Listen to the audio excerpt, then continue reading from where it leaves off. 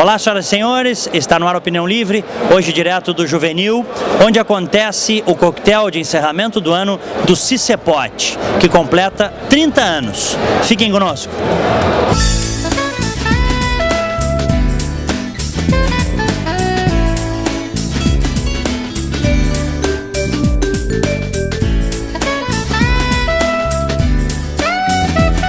Cordeiro, presidente do CICEPOT, que prestígio, né? Quer dizer, nós temos aqui o evento de encerramento do ano do sindicato, aqui no Juvenil, ah, e realmente eh, empresários, executivos, políticos, um grande momento, nos 30 anos do CICEPOT.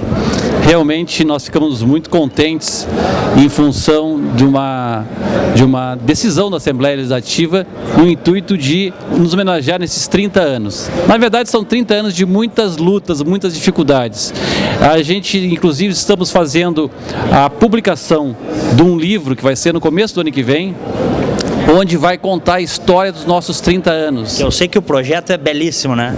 É, realmente, nós no dia 28 de dezembro de 1979, nós conseguimos nossa carta sindical. E no dia 30 de maio do ano seguinte, de 80, foi feita a primeira posse do primeiro presidente, que foi o saudoso José Portela Nunes. Então, nesse livro, retrata toda a saga desses fundadores, suas ideias, suas angústias, as dificuldades que eles enfrentaram. E, na verdade, é uma, é uma, uma, uma, uma história muito bonita, porque eh, as empresas que estão aqui hoje, e começaram com um número reduzido, e hoje já temos mais de 100 empresas que trabalham aqui no Estado, elas estão efetivamente construindo esse Estado e esse país. Não tenha dúvida que não tenha uma estrada aqui no Estado onde não tenha a mão de uma empresa que pertence ao nosso sindicato. Atos, 2010, qual é a tua expectativa? Bem, eu tenho falado, Diego, que os astros se alinharam. 2010, na nossa concepção, vai ser o ano do maior investimento da história do Rio Grande do Sul. Tanto o governo federal, estadual e municipal. O governo federal já tem contratado mais de 2 bilhões de reais e está para contratar no começo do ano que vem mais 1,7 bilhões de reais. São estradas extremamente importantes, a rodovia do Parque, a duplicação da BR-386, a duplicação da BR-101, a duplicação da BR-290. Nós vamos terminar a estrada que liga Osório Torres. Ou seja, tem uma série de obras extremamente importantes para o Estado. No governo estadual também tem uma série de obras como a 471 eh, Norte, como a duplicação da 118, uma série de programas de restauração. E eu tenho dito que em julho do ano que vem, se Deus quiser, todas as nossas rodovias pavimentadas, sejam elas federais ou estaduais, nós não teremos mais buracos, se Deus quiser, porque está tudo contratado. Então, o ano que vem promete muito. Então, nós estamos extremamente otimistas. Bom, vamos falar rapidamente aqui de Copa do Mundo e Olimpíadas. Copa do Mundo vai ser mais pulverizado, porque nós teremos várias subsedes, entre elas Porto Alegre, mas Olimpíadas também, quer dizer, o país tem que estar com a infraestrutura redondinha, preparada. Na verdade, eu sempre tenho dito isto. A Copa no Estado do Rio Grande do Sul já começou. Tem uma série de ações que estão sendo efetivadas, ações conjuntas entre a União, Estado e município.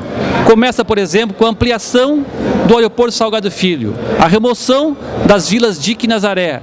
Nós vamos fazer a duplicação da Padre Cacique, da Beira Rio. Nós vamos fazer a, a, duplicação da Via Tronco. Tem uma série de obras, tipo os portais da cidade, é um investimento de mais de 204 milhões de dólares. Ou seja, tem uma série de investimentos na área municipal e associado a isso que eu já te falei antes. Por exemplo, em relação à BR-116, a nossa congestionada BR-116, estão sendo construídos uma série de viadutos na BR-116, está se construindo a rodovia do Parque, que vai retirar 40% de toda, todo o tráfego da BR-116.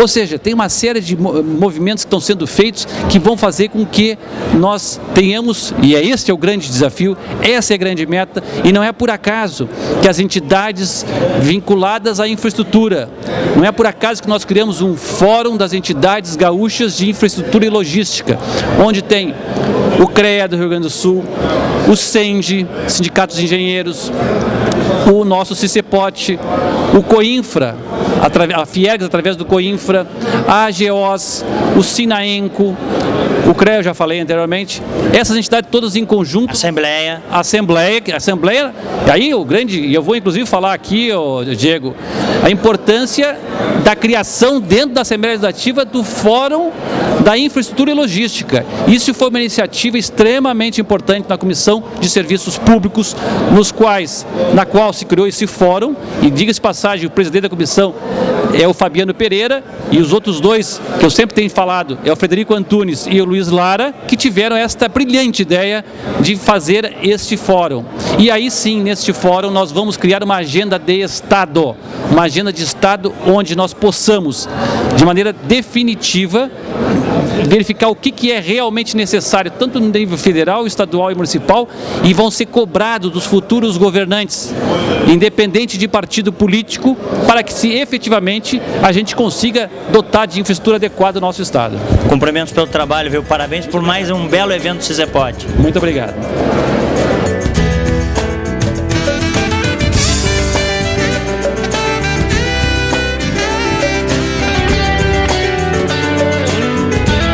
Bem, é uma satisfação nesse evento de encerramento do ano do CICEPOT, aqui no Juvenil, encontrar o meu prezado deputado federal Mendes Ribeiro Filho, que, a julgar pelos resultados eleitorais, eleição após eleição, está indo para o seu quinto mandato. Foram dois de estadual, que eu acompanhei bem como repórter, aqui na nossa Assembleia, agora dois como deputado federal e muito provavelmente o terceiro, né? Isso se não optar por uma majoritária, né? Bom te ver, Mendes. Prazer é meu estar aqui, podendo dividir esse momento com teus telespectadores, dividindo a oportunidade de aprender também o teu talento, né? Um pouquinho do teu talento com aqueles que nos escutam, que nos veem. E satisfação estar aqui nesse evento.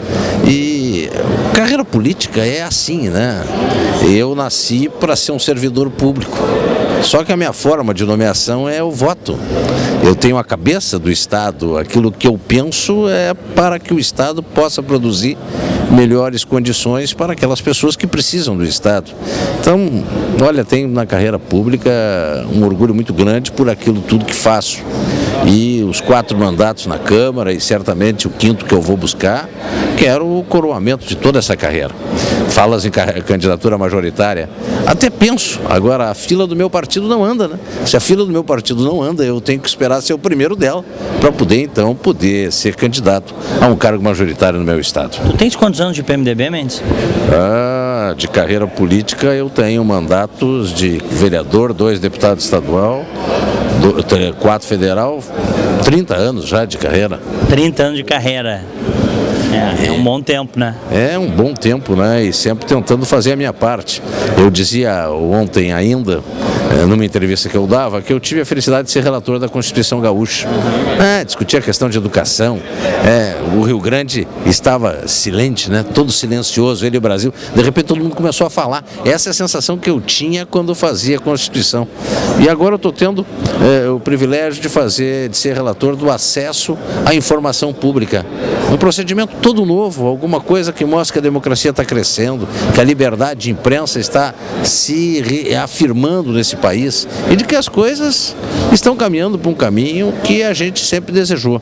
Eu não tenho dúvida que ah, quanto mais informação, mais transparência, mais possibilidade do cidadão se identificar com aquele que administra a coisa pública. Bom te ver. Um abraço. Feliz Natal, hein?